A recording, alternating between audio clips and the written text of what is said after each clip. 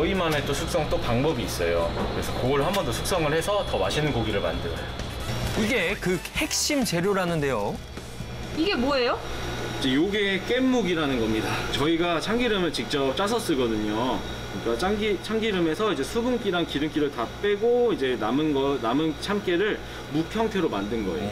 낚시할 때 많이 쓰는데. 저지방 고단백의 깻묵은 고기의 비린내를 잡아주는데도 탁월한 효과를 발휘한답니다. 그런데 이건 또 뭐죠? 아 이거 생고구마 즙이에요. 고구마의 효능 중에 하나가 단백질을 분해하는 걸 막아줘요. 그러다 보니까 섞어서 쓰면은 그 고기에 닿았을 때 고기에 육즙이 빠지는 걸 막아주기 때문에 어, 같이 섞어서 쓰고 있어요. 깻묵에 고구마 즙을 골고루 섞은 다음 면포에 투하.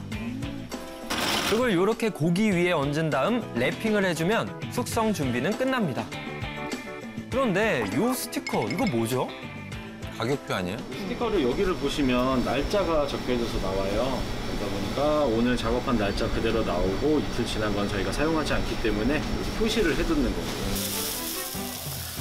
그냥 먹어도 맛난 돼지고기지만 7일 정도 숙성한 돼지고기는 고소함이 한가득. 그야말로 풍미장렬이랍니다. 맛있겠다. 네.